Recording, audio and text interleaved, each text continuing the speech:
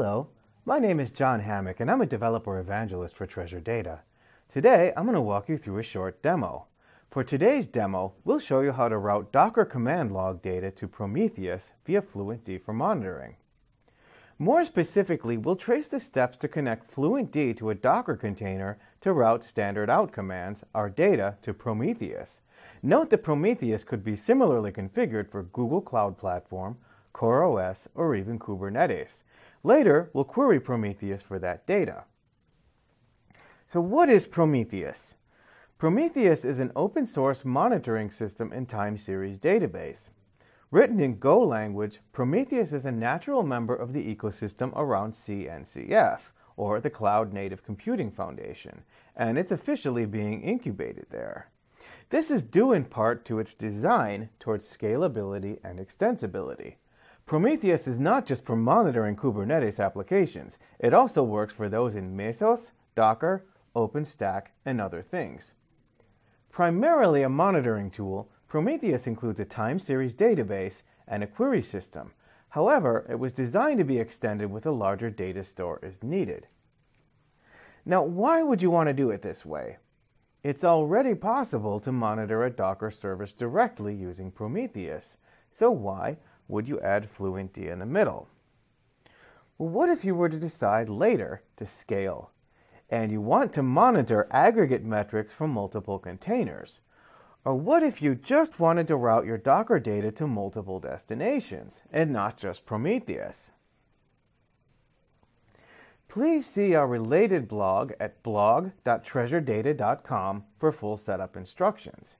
Today, in our demo, we'll install FluentD, Prometheus, the Prometheus plugin, and we'll configure all of the above.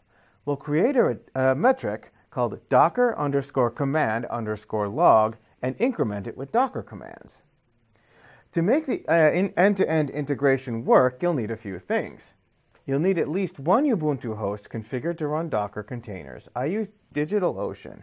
You'll need an SSH connection to the host, and I've opened several windows to connect to SSH.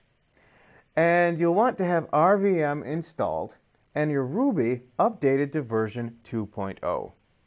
So I've logged into uh, my Docker container, actually my Docker host. It's a Ubuntu host. I've got a single instance uh, Jamming 3 Docker demo uh, running on DigitalOcean. And I've got four windows open. The first thing we're going to do is we're going to install FluentD for Trusty because that's the version of Linux we have running on our remote instance. We go to one of our windows and we're simply going to paste the command for that and we're going to let it run.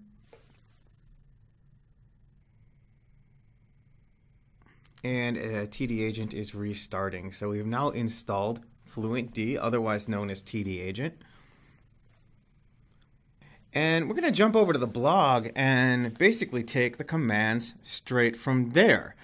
So the next thing we want to do is install the Prometheus plugin for FluentD, which is going to give us a Prometheus configuration along with it. So we grab that straight out of there. We copy that straight out of the GitHub gist and we paste that into our window as well. And this is going to install FluentD uh, Prometheus plugin.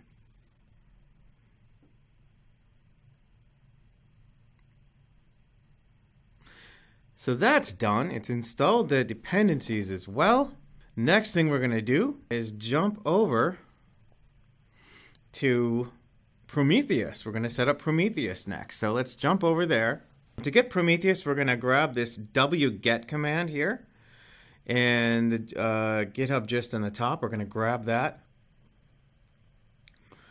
Uh, copy and paste this, and you're more than welcome to run these commands. Um, make sure that when you do, you've got uh, Ruby version 2.0 installed because the dependencies uh, re are required there. So this is going to be the wget thing. It's grabbing its dependencies and uh, we're going to grab the next command out of um, out of our blog to actually start the Prometheus server.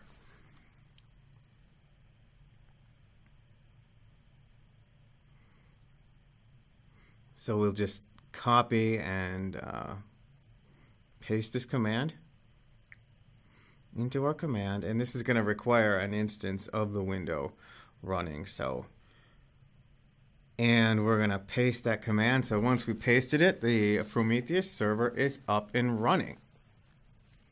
So let's just go into the Prometheus directory and look around. Prometheus is primarily uh, for making metrics, or that's at least what it's best known for.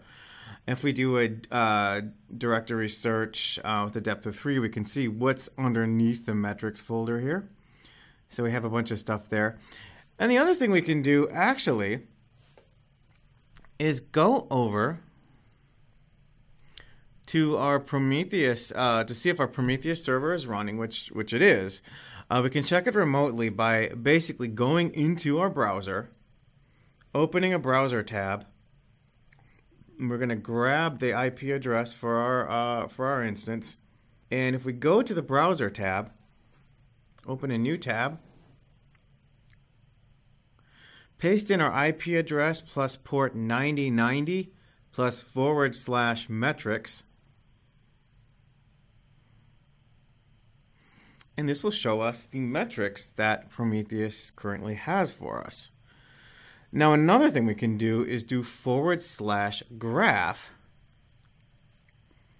to see the graphing user interface that Prometheus provides for us. So, what we want to do now is route the data from our Docker container to our Prometheus instance.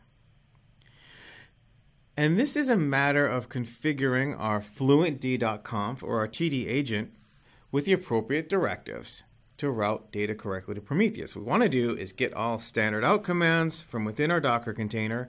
We want to route these and send them to our Prometheus server.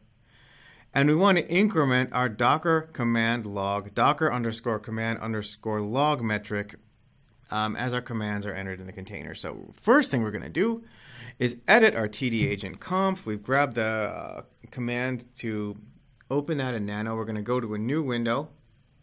We're going to open our tdagent.conf.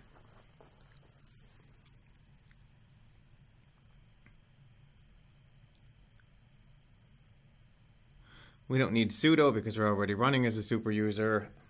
Hit enter. And this is our default tdagent.conf. Now what we're going to do is we're going to remove this and replace it with our directives from the blog.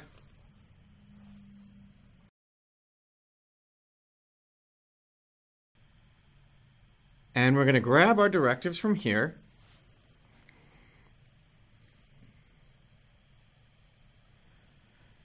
And uh, we're going to paste those.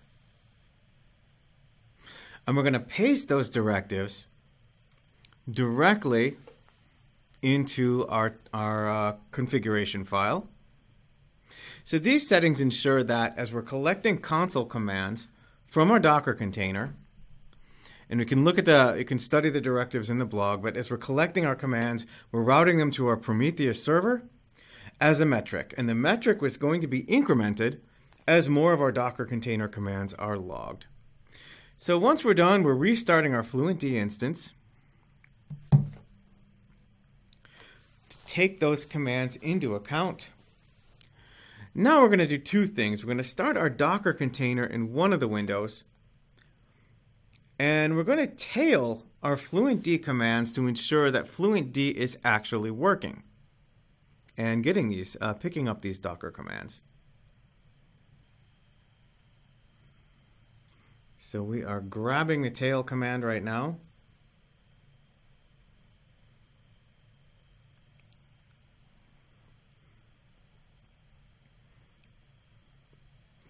And in one, we're going to paste our command for Docker, running our Docker container. Run our Docker command. It has to run a few, uh, has to pick up a few dependencies before it can actually run the Docker container the first time you run it. So uh, thus we're going to see a little bit of extra activity going on. While that's going on, we'll jump over to the other window and we're going to paste our tail command. We're going to go back, grab our tail command, and we're going to tail tdagent.log.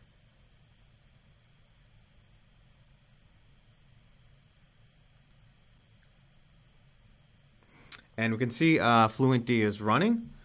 Uh, it shows for for beginner uh, for beginning. Um, it shows the contents of the log. Now, when we echo commands, or actually when we type any commands in the in the Docker container, including echo commands, you can see that uh, FluentD is picking it up.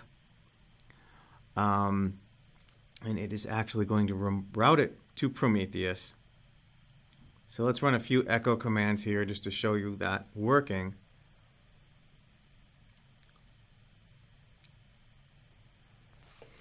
Now what we want to do is we want to query our Prometheus instance. So we're going to go back to our browser to the graphing interface, which we have open in our tab here.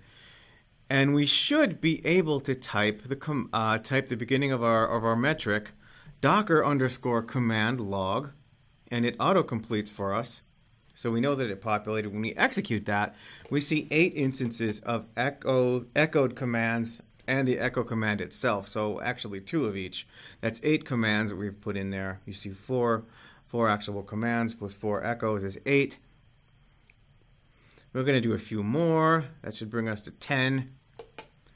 And we that should bring us to 12. So now if we go back to our server, to our web page, and we execute again, that should take us to 12. One of the trickiest pieces to put together in any engineering stack at least in a unified, organized, and maintainable way, is our logging story. FluentD is an open source logging framework which works by way of an established software development pattern. Instead of integrating disparate logging scripts and frameworks point to point, which creates an n times n level of complexity, FluentD integrates around a common interface. FluentD uses its own ecosystem of input, filter, and output plugins to simplify logging complexity. But FluentD is just part of the story. Treasure Data, the creators of FluentD, offers a cloud-based, open source-based, community-supported data application platform to help you reduce or even eliminate the cost and burden of building your own data analytics pipeline from scratch. Our open connector, Schema on Read ecosystem means we can integrate with nearly every data store and visualization tool out there with the schema and ETL headache eliminated. If you want to get started right away, you can go to www.treasuredata.com to sign up for a 14-day trial, or else just check out FluentD's open source data collector at www.fluentd.org.